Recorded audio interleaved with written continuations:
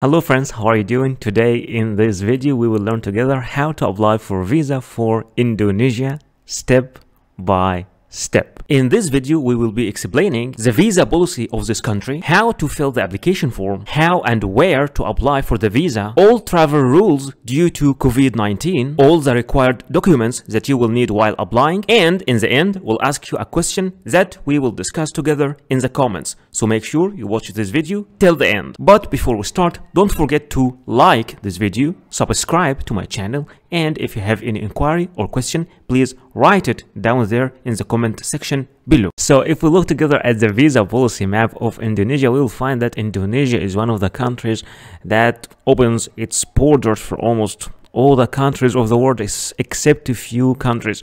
So it gives free visa for 30 days for all the countries of North America, South America, almost all the Asian countries except Yemen, Iraq, Syria, and Pakistan, Russia, all European countries, and almost all African countries except uh, Ethiopia, um, Sudan, and some few countries. So, in general, you are not required to apply for visa, but in case you are Pakistan or you are Ethiopian, I will teach you how to apply uh, for visa uh, from uh, the Indonesian embassy in your country.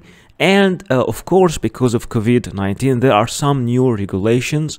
Um, due to the visa, we will learn about those regulations and how to fix all these regulations by yourself so you can travel to Indonesia. So if we look together at the Consulate General of the Republic of Indonesia in Los Angeles, United States of America, this notice, this new notice is valid for all the countries for all international travelers because they have some restrictions uh, for traveling like um, you need to uh, to prove that you have a person in Indonesia who will uh, be able to like um, to guarantee you or be inviting you. But now they are saying that effective on the 12th uh, of January 20 2022, the government of the Republic of Indonesia has reopened Indonesia for international tourists. So it's really clear.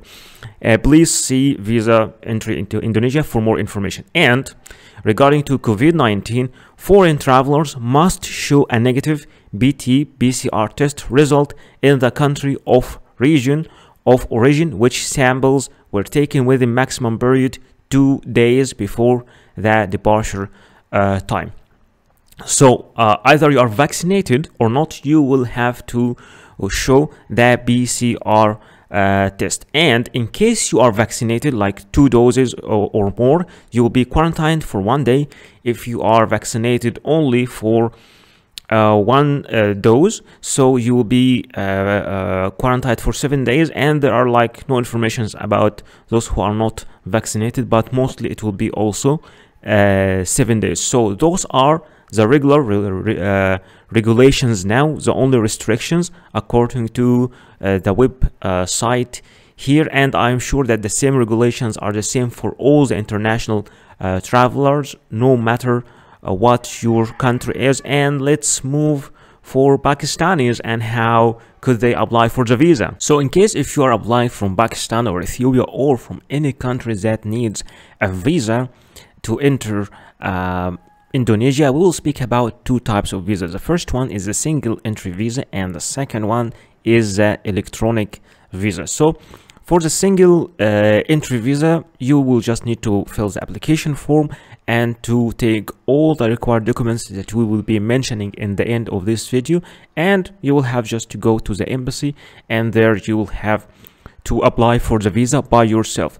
Uh, if you want to look at a copy, of the application form. This is a copy of the application form but it is from Stockholm. I tried to find a copy uh, for, like with details of Pakistan but the application form is the same. You will just need to delete this section and to fill this application form starting with the personal information travel document information travel itinerary travel information sponsorship in Indonesia and other information personal statement and you will have to write the date and your signature and here is the part for your photograph so this is the first type of visa that you can apply normally through uh, the embassy. But there is also something else, the electronic uh, visa, the e-visa.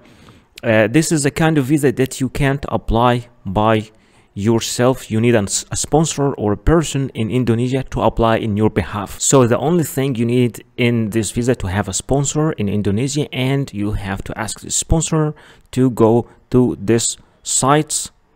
You can see the site it's all the Indo in the Indonesian language in the Bahasa language and they will have to fill this uh, application in your uh, behalf to give their details your details and then uh, that visa will be issued for you in case you are a Pakistani or from any country who need this kind of e-visa. And of course you will have to follow uh, all the uh, like medical protocols due to COVID-19 but the problem for some of you is how to get uh, a sponsor in Indonesia. Because as we can see uh, even we have read that they have updated the regulation of travel uh, that from the beginning of 12 uh, January 2022 all tourists all tourists are welcome but in the site uh, in Islamabad Pakistan there there are still giving uh, these regulations for uh, travelers from Pakistan that you need to um, have a sponsor in Indonesia. So first I will ask you to ask directly in uh, the embassy to phone them to call them by phone to ask them if these regulations are valid or not.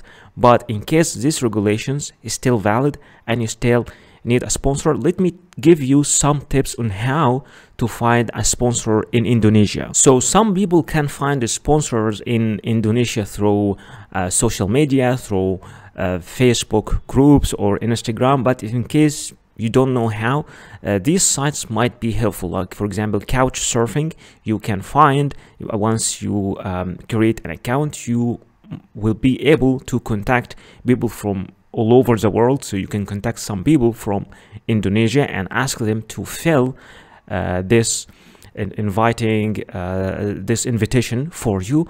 And there's also another site InterPals and InterPals is uh, a social media website where you get to know new friends. You will find people from all over the world. You can also find people from um, Indonesia and you can also ask them to fill this form uh, in your behalf and invite you to Indonesia. And you might find some people who will will be willing to do uh, this invitation for you. So what are the travel documents that you need to prepare before applying for the visa? Speaking about your passport your passport must be original and it must not be older than 10 years with at least 6 months of remaining validity and with at least two blank visa pages for the stamps. In many cases you will need also a passport photocopy. It might be one copy or more than one and it's preferred to be colored and both data page and photo page must be shown if separated. In some cases cases you might be required to photocopy every single page of your passport. But in general, only the data page and the photo page are the needed ones. Speaking about the personal pictures, you will need at least two personal pictures. Sometimes only one is needed, other times three pictures are needed, but in general, there are only two. They must be new, not older than 6 months, it should be clear and show your full face, and it is preferred to be with white background. And you should give normal and neutral expressions. No head or face covering is acceptable except for religious religious reasons. Speaking about the visa application form, in general cases you need only one copy of the visa application form, but sometimes you might be required to submit two copies or even three. Visa forms are different from a country to another. In general cases you should print it and fill it manually, but many countries now are providing their application form in an online platform. So you can fill the application form online and after that you can print it and sign it. Anyway, for the application form you just fill it as we do in the video. In most of the visa application processes you will be required to provide a proof of status. For example, if you are an employee, you will have to provide a letter from your employer or from your HR department mentioning your name, your work detail, and your salary. And both address and contact numbers should be mentioned also in that letter. And all letters must have an original signature and a stamp. But in case you are the owner of the company or you run your own business, then your commercial registry and your tax card must be presented. But if you are a student in a school or a college, an enrollment letter should be provided from your university or your school. In some certain cases, you might be applying from a country different than your own country country. At that moment, you will need to provide a proof of a legal status, which is a certificate of legal residence in this country. And in some cases, a valid residence visa for this country can be also accepted. You will also need to provide a proof of sufficient funds, which is a bank statement stating your balance for at least six months. The original bank statement must show your name and should be signed and stamped by the bank representatives. And remember that cash will not be accepted as a proof of fund. You should also provide a flight reservation. It could be an initial booking, but in some minor cases, you will need to provide a confirmed booking. And remember that this flight reservation must include a return ticket. So let me show you a short tutorial in how to book your flight and we will use this site skyscanner.net. Alright, starting with our site, this part is a little bit boring but we will see what we can do. First, you have to select what type of uh, flight you want a return flight like two ways going and returning or one way flight or multi-city. And let me show you an option. If you would like to change the language you can change it from here. You can choose your language. You can choose your country. You can choose your currency whatever fits you. All right. So assuming that you have for example a travel plan you're moving between different cities so you can choose this multi-city option. You can add different cities here and you can adjust your dates date of arrival date of departure and you can book all these tickets at once which is a very great option. But let's just assume you are moving from only one city to another and you want to have a return flight going and returning back. So uh, assuming you are going from istanbul of course you can choose whatever you want. If it's in istanbul or surat or whatever airport it is and returning what is your uh, destination? Where are you going? You're going to Delhi or you're going to uh, Tbilisi or uh, or whatever Georgia. Sorry. Georgia Tbilisi. And here you will have to choose your departure date and here you'll have to choose your return date and here you have to choose your cabin class. Are you going on economy class premium economy business class first class or what? And you're an adult okay you have any children with you all right and here okay now you can search flights. Once you click search flights all the flights will appear in front of you. You can choose whatever flight you want. You can go with the best or the cheapest or the fastest but it's almost the same here. But of course the price will change depending on the destination and also will change depending on the date. So let's click this uh, flight for example and now will appear in front of us. Let's check the details of this flight. And for this flight you can book it from different sites. You can uh, book it directly from skyscanner or you can go to any of those sites to book it. But yeah we will book it from skyscanner. It is the cheapest anyway. Let's click book. But wait before booking let's see the details of each flight. Okay it's a direct flight from istanbul to tbilisi and it's a direct flight from Tbilisi to Istanbul. So by clicking on these arrows you can see the details of each uh, flight. Let's click book and here you can see the dates. Okay you're going departure okay going returning and the date and now click book.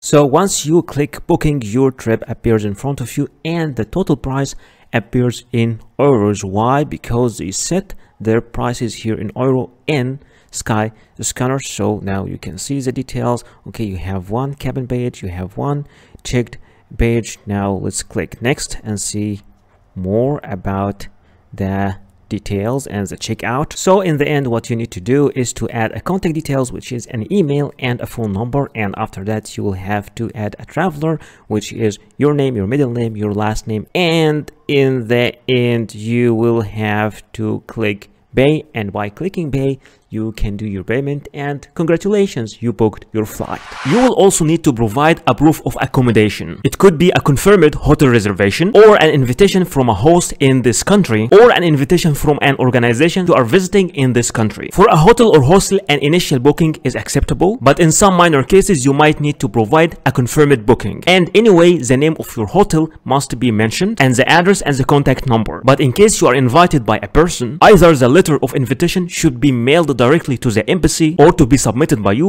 are combined by a copy of the passport of that inviting person. There are different sites that you can use to book a hotel or a hostel but let me show you a fast tutorial how to book your hostel from booking.com so this is our site booking.com first you have to specify where are you going. Let's say i'm going to istanbul. I want to have istanbul. Okay i'm traveling okay for example check in. Okay let's say at that date and check out. Let's say at that date and i want one adult one room and let's click search. All right by clicking search okay they are giving me all the locations and they are giving me the price here in egyptian pound let's assume i would like to change my currency. I will change my currency from here.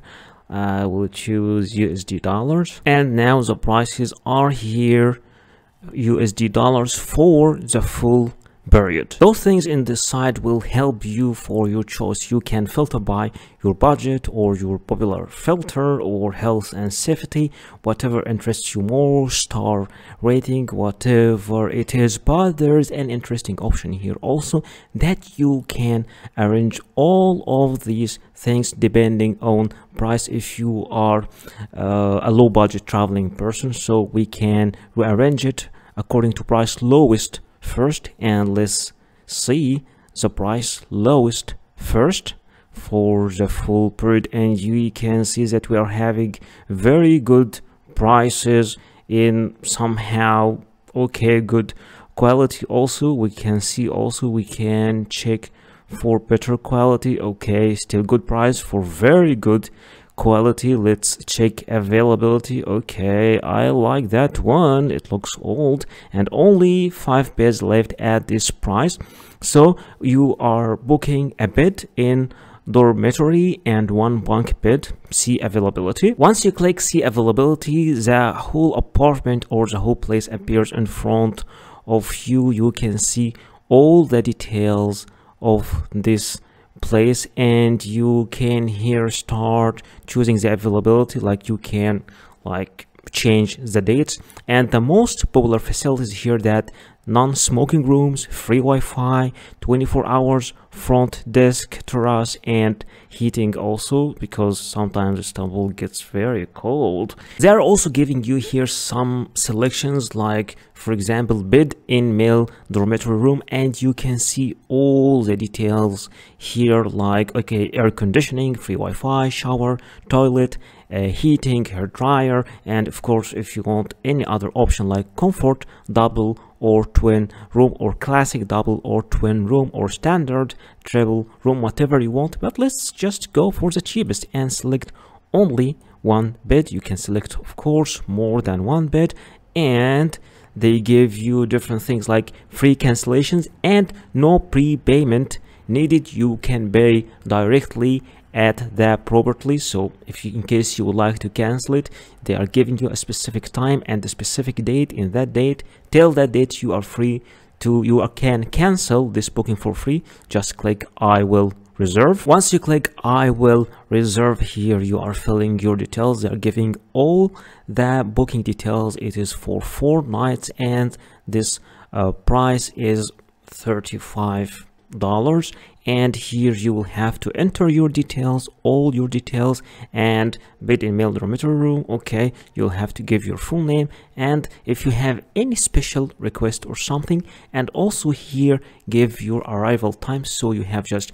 to review all these parts and in the end you will click final details. By clicking final details you will review again all your details and you will confirm your booking. Once your booking is confirmed you will receive an email in your email like that stating the check-in details as the checkout detail and the duration of the stay the phone number and the address of the place and all the details. And this is the page that you will have to print and take with you to the embassy while applying for the visa. Many countries also, especially the Schengen area countries, require you to provide a traveling insurance. And you have to be careful and to apply through the companies that are accepted officially in these countries. For example, in case for Schengen area countries, there are some certain specifications for this travel insurance, like the insurance coverage must be at least 30,000 euros. And in general cases, you can apply for this insurance online. Now let's look together as a travel insurance companies. Those are some travel insurance companies. You can use any of those websites to apply for the travel insurance. But since I know that travel insurance is a little bit confusing for most of people, I selected two companies and we will see together how to apply for travel insurance through those two companies. Applying for travel insurance is quite confusing for many people but here I selected the site europeinsurance.eu and let's see how to apply for travel insurance. First you have to select your main destination in Europe which is I selected France. The start date the end date let's say you're just staying for one month and you want this insurance for one month and here you write your date of birth then get a quota Okay, so now there are two types of travel insurance. The first one is basic and it costs 19, uh, the 19 euros per month and it covers more than 60,000 euros, which is required because for travel insurance you have to apply for something more than or equals to 30,000 euros. So I will select this one and here if you want to extend but just let's keep it like that for this basic one. I will select it over here and now I will have to fill my details my the insured person my name and the policy holder also if it is the same person though the same also details my own details and important statements just some statements and in the end you will get to the payment. So this travel insurance uh, which will cover more than 60,000 euros for one month it's just only 19 euros. Let's check another site which is axaschengen.com which is quite expensive uh, site. And here they give you different periods like for Schengen low uh, cost Schengen Europe travel Schengen multi-trip get a code okay so for the prices here okay let's first you need to click get a quota over here for the cheapest one. Okay. And here they will ask you the Schengen low cost. Um, they will ask you about the start date and the end date of your travel. So my first date is this one. All right 12 and my last date let's say will be 11th of April also for one month and this one for 31 days and it's a little bit it's not a little bit expensive it is expensive and it covers uh, only up to 30 thousand euros but you know the difference is sometimes about um, the rate of the company and uh, also uh, the categories they are uh, covering in the travel insurance but here i'm just showing you how to uh, choose how how to apply because this is because choosing the category uh, the options is something depending on you but many people are just having some problems. What is the travel insurance? How to apply through the travel insurance? So all these other details i will leave to you. I'm just showing you how to apply through the site and what is the real cost uh,